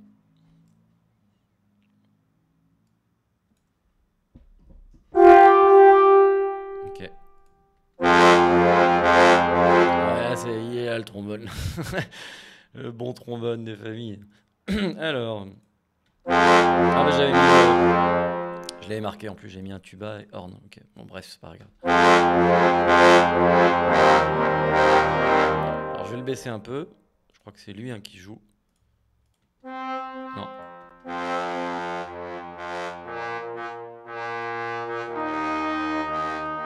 Je vais faire vite mes niveaux, hein, comme ça on le fait, on le fait ensemble en tant qu'à faire.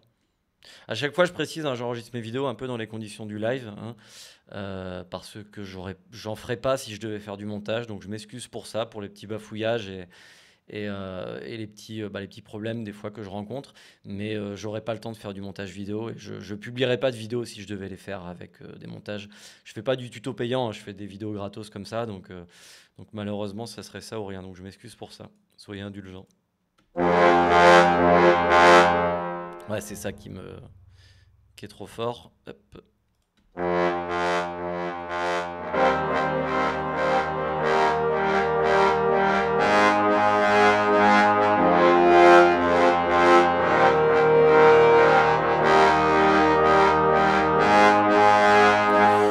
pas ce qu'il y a de plus joli, hein, mais, euh, mais en tout cas, euh, en tout cas, en tout cas, j'ai rajouté aucun effet, pas d'équalisation, rien.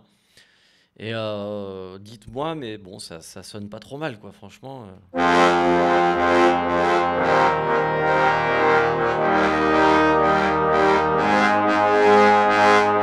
Ah, il, faudrait que je fasse mon mix mieux, que je règle les tapes et tout, mes niveaux, tout ça. Mais voilà, ça, je l'ai fait, euh, fait en 10 minutes avant de faire la vidéo. Donc, euh, de base, comme ça, ça sonne pas trop mal. Voilà. Le, piano, l'avais, on l'avait écouté, euh, on l'a écouté dans, le live que j'avais fait, le premier. Mais je vous montre très rapidement pour ceux qui l'ont pas vu. Bon, là, on est sur un super piano euh, qui a été samplé minutieusement. On l'écoute tout seul.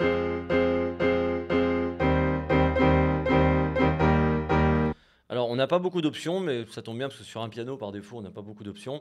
On a euh, ici la tonalité, la dynamique, le reverse mix, c'est-à-dire que je vais pouvoir euh, rajouter une reverb reverse qui aura une durée. Et après, on a les micros. Déjà, je vais toucher à ça, la tonalité, à la dynamique. Là, il est étouffé.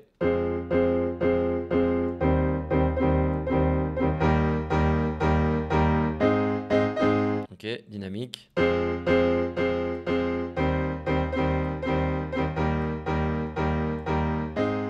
J'arrive pas à la choper. Voilà.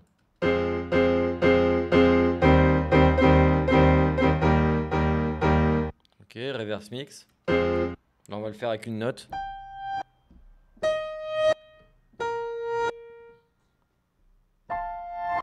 Ça, c'est intéressant. La longueur de la reverse mix.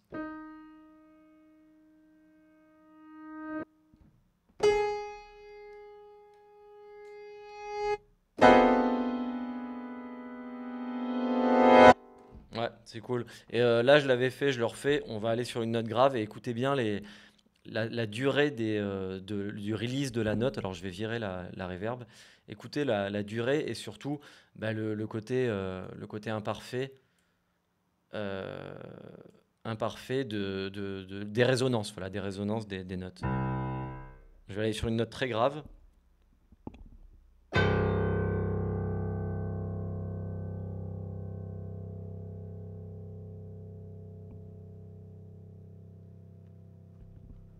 Voilà, je pense que j'ai tout dit. J'en refais une un peu plus haute.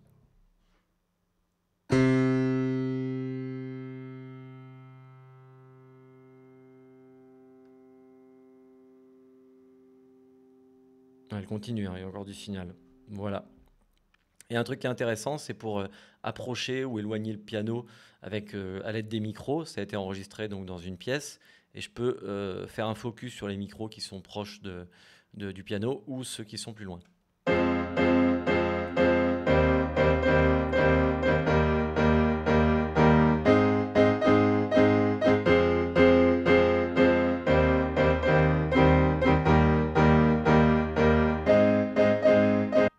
Petite option toute simple mais ultra efficace. Ah,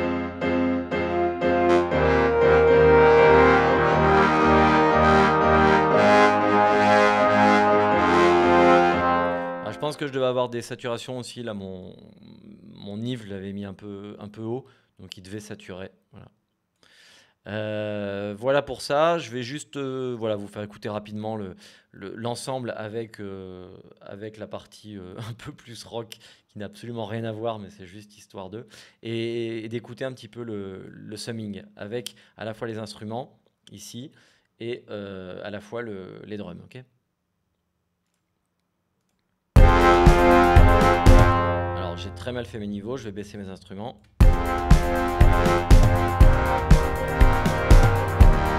C'est- vraiment pas terrible, hein, pas très joli, mais c'est c'est pour vous montrer l'idée quoi. On va écouter avec et sans.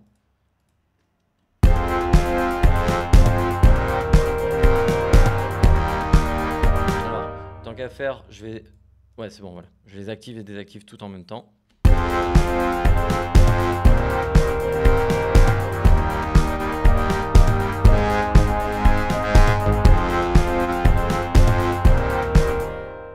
Ok. Bon, c'est comme c'est un peu brouillon, euh, j'avoue que là, on se rend pas trop compte. Euh, on va écouter peut-être qu'avec juste, euh, juste le Moog, ça me permet de passer au Moog et pouvoir faire mon petit comparatif. Donc là, je vais mettre tout ça en mute. Mute. J'enlève les solos tant qu'à faire. Voilà, mute. Et je vais écouter mon Moog. Alors, qui...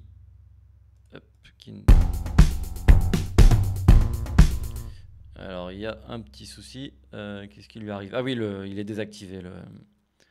Lui, je l'active, voilà. Allez, on va mettre juste un, truc léger, euh, les, les violons.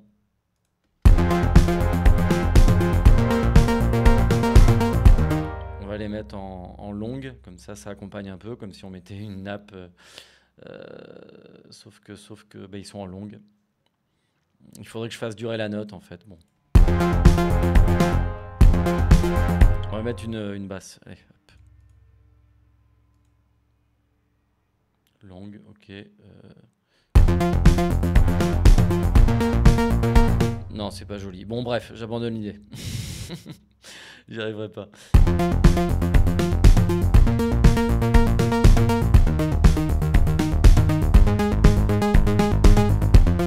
Là, on s'en rend plus compte. Là, maintenant qu'il y a un peu moins d'instruments, j'aurais quand même bien aimé mettre un petit. Euh, je vais le faire vite fait, vite fait, vite fait, vite fait. Hop. Euh, je vais prendre un, violon. Voilà, je vais changer d'instrument. Alors, je vous montre comme ça rapidement. Donc, euh, et ouais, c'est qu'en fait, j'ai mis que des. je me suis. Ah non, je sais ce que j'ai fait. J'ai fait n'importe quoi, je ne m'étais pas rendu compte. c'est que j'ai sélectionné toutes mes pistes et j'ai changé mon instrument, donc j'ai changé tous mes instruments à la fois. alors c'est pas grave, on peut revenir en arrière. Bon, je vais pas le faire. Je vais en prendre juste un.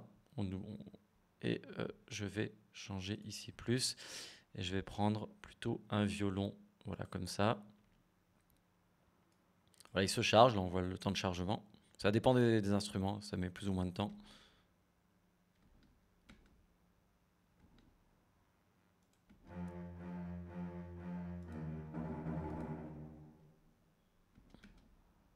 Ouais, sauf que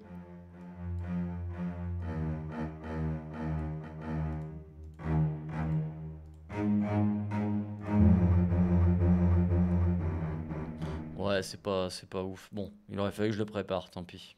Désolé. Donc on écoute euh, avec, et, avec et sans.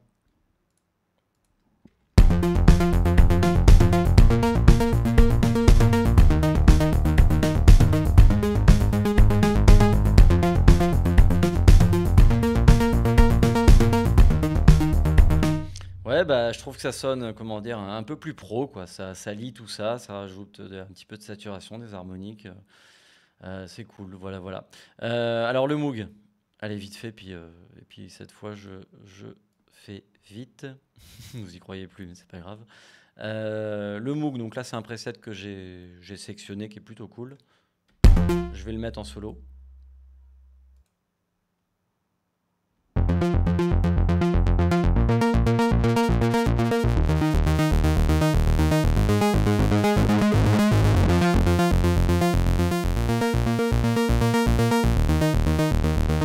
Passer un peu les presets, ok Je vous les fais écouter. Tiens, bah là, j'avais fait un, preset euh, vite fait.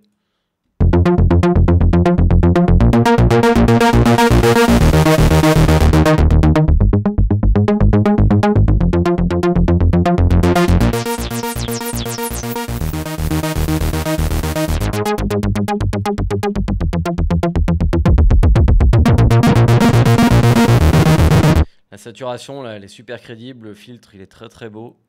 On écoute un peu les presets. Je les fais défiler et je me tais.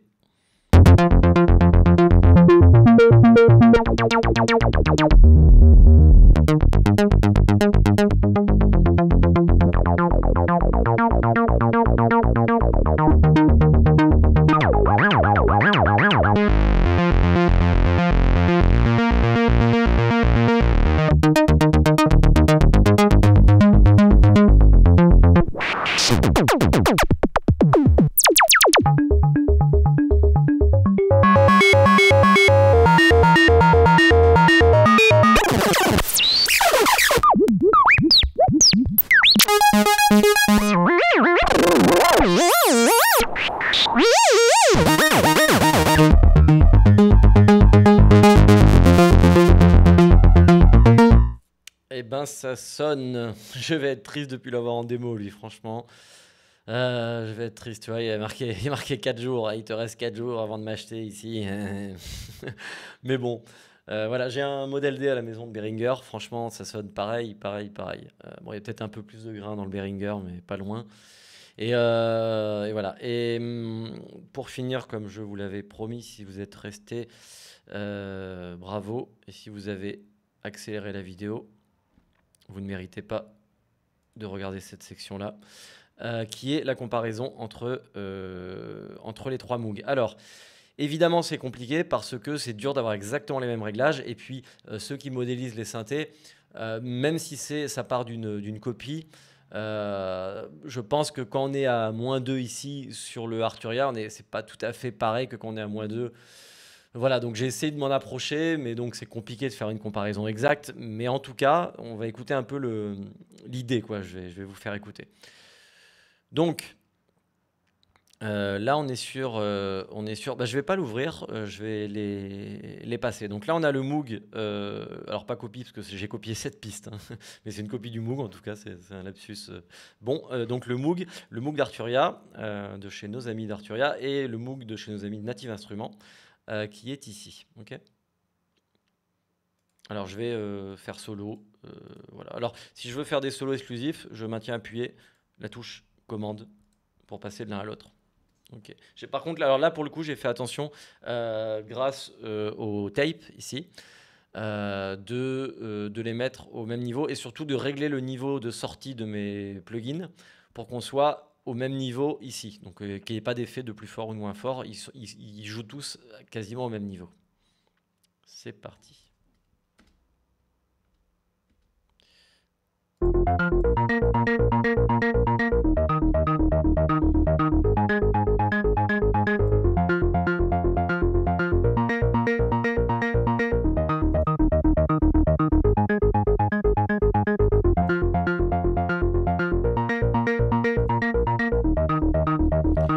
Voyez que c'est quand même assez différent. Pourtant, pourtant, euh, pourtant, mes réglages sont à peu près pareils. On va aller voir euh, ici. Ah ouais, alors lui, il a bugué du coup le. Ah non Donc, euh, ouais, problème d'affichage. Bon, le Moog a. Ah non, c'est bon, il est revenu. Bon, oula, ouais, bon, il y a un petit problème. je vais pas y toucher. Donc là, vous voyez les réglages. ouais, d'accord, ok. Donc il ne faut pas que j'y touche. Je vais le relancer. Le problème c'est que j'ai pas sauvegardé mon preset, donc du coup si, euh, si je le relance, voilà.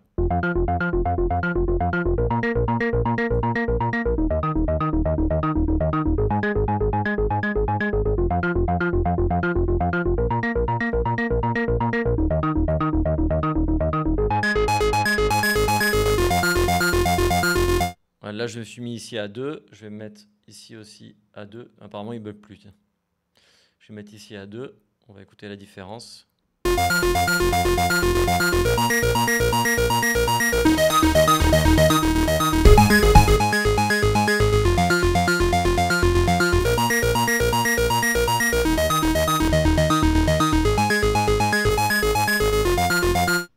Alors le Arturia est plus sage, entre guillemets. Euh, on, va pousser on va ouvrir le filtre au maximum pour comparer. Alors là, j'ai euh, euh, tous les oscillateurs activés. Ce qu'on va faire, c'est que je vais supprimer ici mes deux oscillateurs pour ne laisser que le premier.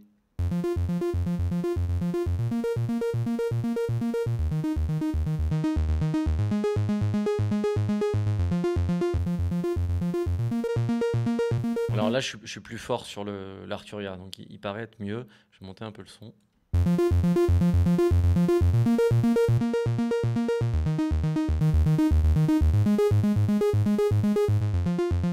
Et vous voyez le fait là de, il était plus moins fort donc il sonnait moins bien. Maintenant que je les ai mis au même niveau, euh, je trouve qu'il a plus de il a plus de coffre le, Moog quoi, il a plus de tenue quoi.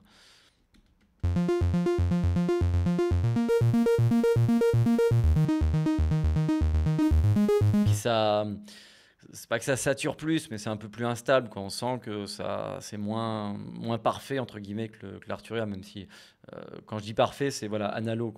Euh, euh, un bon test, c'est ça, le, drive. je vais l'exagérer ici, je vais le mettre ici, au milieu là. Et là ici pareil, je le mets donc au milieu.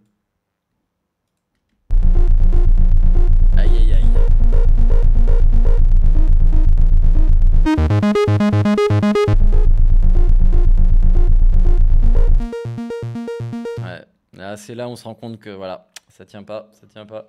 Euh, je vais le mettre à 2.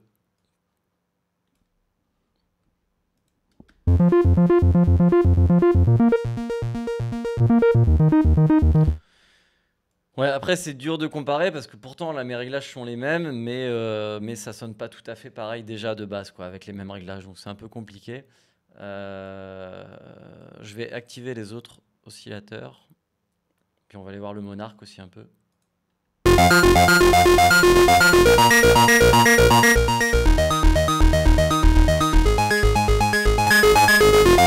Là, l'overload, on le sent bien. On va le mettre à donf. Tiens, c'est un bon test. Hop là. Donc là, ici, c'est le Moog.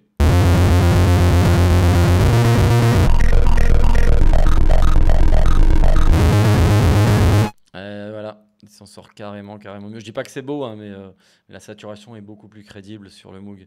Désolé, désolé les potes d'Arturia, pourtant Dieu sait que je les aime bien, mais après il est, il est pas tout jeune, hein, le, le, le mini d'Arturia, le mini.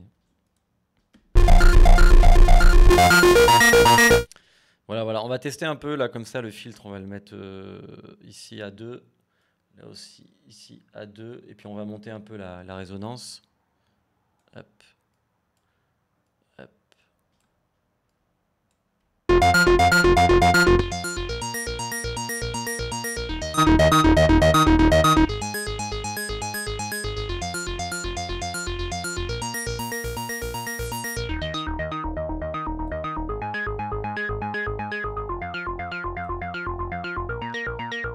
Vous voyez que là, dès qu'on commence à pousser un peu dans les extrêmes, on le perd, notre mini euh, de chez Arturia. Euh, je vais essayer de faire pareil là, Euh, donc de mettre le filter. Ah, en fait, j'aurais dû faire trois vidéos. Ici, hop là. Ça comme ça. On va comparer.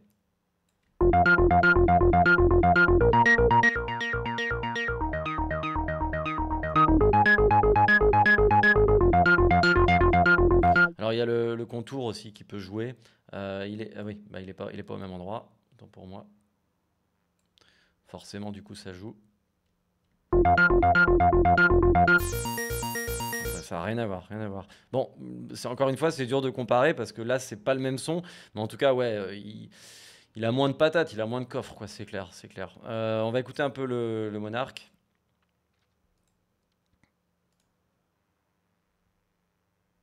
Alors désolé, c'est un peu long à ouvrir. Voilà, le voilà.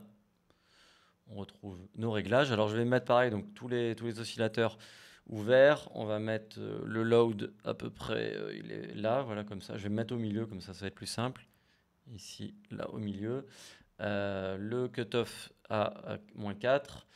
Le, la résonance, on va la pousser, on va la mettre au milieu ici et au milieu là. Et le contour, voilà, comme ça et comme ça. Voilà, là on est pareil. Donc on écoute les deux, donc le Moog ici et le Monarque là. Donc d'abord le Moog.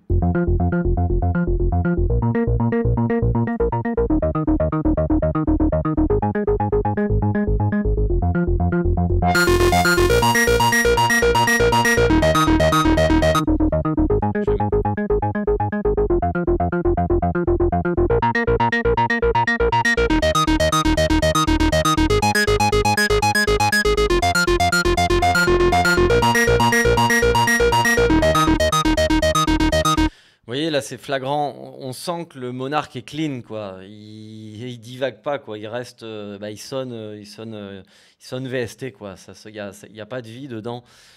Enfin, ça veut rien dire de sonner VST. Je vais encore me faire allumer, mais vous voyez ce que je veux dire Ça sonne, euh, enfin, c'est moins riche, quoi. C'est moins riche. Écoutez, écoutez.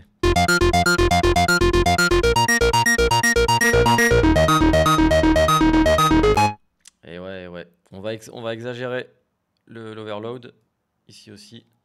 C'est toujours bien les plugins, de les pousser un peu à donf là, pour, euh, pour voir comment s'ils tiennent ou pas. quoi.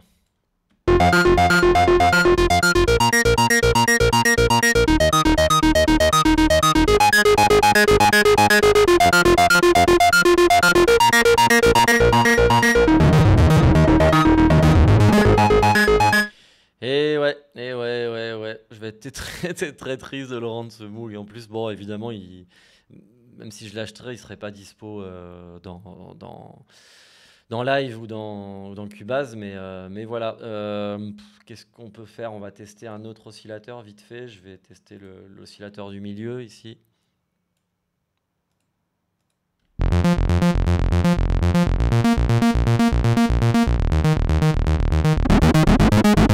Ouais, alors je vais baisser la. Je vais carrément le virer là, l'overload, comme ça, vu que ça marche pas très bien là-dessus. Alors ça c'est un peu différent le feedback, c'est un, feedback interne, comme si, comme si le son était routé à l'extérieur. Bon bref, euh, c'est un peu différent, mais euh, enfin pas à l'extérieur, mais euh, bon bref, je vais pas m'étendre là-dessus, c'est déjà assez long. je mets tout à zéro. Mais là, je l'ai poussé tout à l'heure parce que je voulais voir un peu en activant. Parce que là, avec le load, j'avais pas assez de, bah, de saturation. Donc j'ai rajouté lui pour voir. Mais, mais bon. D'ailleurs, dis peut-être une bêtise, en fait, c'est le, feedback doit, être, euh, doit correspondre plutôt à, à ça. Et le load, c'est peut-être quelque chose en plus. Je sais pas, vu que la lampe, elle est là, bon, bref. Bref, bref. Et là, en plus, il y a deux couleurs différentes de feedback.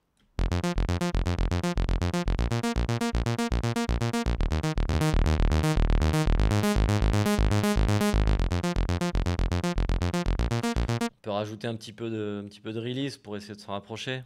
Pas de bouquet.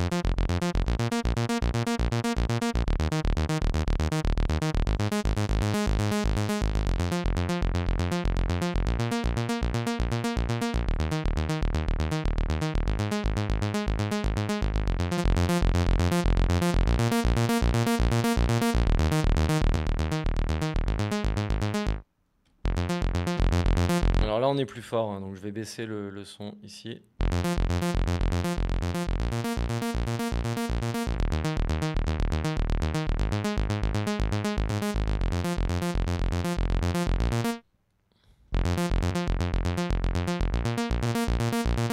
Il sonne pas trop mal hein, le Monarque. Hein. Moi je l'ai toujours bien aimé. Ça, il y a du grain, mais, euh, mais pas autant, pas autant que le Moog. Clairement pas, clairement pas. C'est dommage. Euh, on essaye juste l'Arturia. Euh, de désactiver les deux oscillateurs qui sont là et de laisser que celui du milieu pour voir comment il s'en sort avec ce. Là, l'oscillateur, je l'ai mis en, en, dents, en scie ici.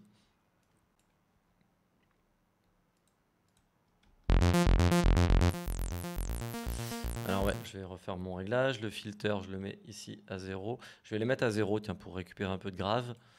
Euh, le contour, je le mets au milieu et on reste comme ça. Voilà. On vire ça.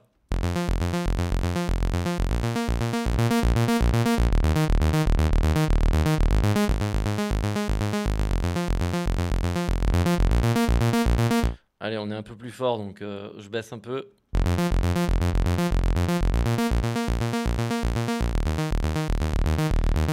Ben, il lui met une grosse tarte.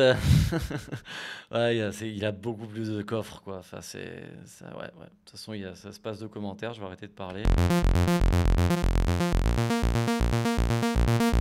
Attention, il n'est pas dégueu, hein, le, mini. Hein. Euh. Je dis pas qu'il est pourri, mais là, pour le coup, euh, pour le coup, il, pour le coup, il explose, quoi. Ça veut pas dire qu'on peut pas faire de choses avec, euh, avec ça. Hein. Surtout que là, on écoute comme ça, de manière comparative. Encore une fois, peut-être qu'il faudrait que je, cherche à me rapprocher de lui. Euh, et puis, euh, une fois que tout ça est noyé dans un mix, euh, voilà quoi. Mais on chipote. Hein. Mais, mais voilà, mais voilà. En même temps, c'est pas le même prix. Hein. Ça, c'est 300 euros. C'est dispo que chez UAD et, et chez, chez Arturia pour 300 euros. Il y a moyen avec des promotions d'avoir la complete, enfin la complete, la V collection entière. Donc avec 18 ou 20 instruments, je sais pas. Donc voilà aussi, quoi, il faut remettre les choses à leur place. Mais euh, voilà, c'est quand même un chaos, euh, un chaos euh, pour le Monarque et pour le Arturia. Voilà, voilà, voilà. Bah, je vous dis au revoir et puis je dis au revoir à, tout ça. On verra si un jour je saute le pas de d'acheter ou perdre certains trucs. Je vais, je vais suivre de très près le développement de tout ça. N'hésitez pas dans les commentaires à me dire s'il y a des choses que vous voulez que je réaborde. Donc je pourrais plus parler pour l'instant de tout ce qui est payant. Euh, mais du reste, en tout cas, oui. Et puis quand il y aura des updates, bah, je, vous ferai, euh, je vous ferai des vidéos pour parler un peu de ce qui est intéressant ou pas. Donc, voilà, voilà. Ben, merci de m'avoir suivi pendant tout ce temps pour une vidéo courte. Hein. J'avais prévu, j'avais prévu 20 minutes, comme d'habitude. Donc maintenant, ne me croyez plus hein, quand j'annonce une vidéo courte. c'est faux. Donc voilà. Donc euh, on est samedi soir euh, ici et euh, ben, je bon bon confinement à tous. Profitez-en pour être créatif. Moi j'en profite, vous voyez, pour tester des trucs et pour me prendre la tête à faire des tests. Tout à l'heure j'étais en train de faire des tests de CPU. Je vous en parlerai peut-être là pour savoir un peu comment gérer le multicœur dans les logiciels, dans les séquenceurs. C'est pas si simple que ça. Et, euh, et, puis, euh, et puis voilà, et pour faire des tutos, c'est pour ça que je vous en fais un aujourd'hui. C'est peut-être aussi un peu grâce au confinement. Euh, donc voilà, j'espère que portez-vous bien et puis, et puis à très vite. Et n'hésitez pas à partager et à me poser des questions et, ou à me demander des rendez-vous en privé si vous voulez en savoir plus sur les techniques de mix ou tout ça. Je suis dispo, d'autant plus pendant le confinement. Et, et, en plus, pendant le confinement, au niveau des, des tarifs, je propose des prix un peu plus cool pour, pour aider ceux qui voudraient. Euh, à faire de la ZIC. Donc euh, voilà, toutes les infos sont en bas dans la description, dans mon site internet. Euh, vous pouvez voir tout ça. donc voilà, allez à plus et, et puis à très vite ici ou là.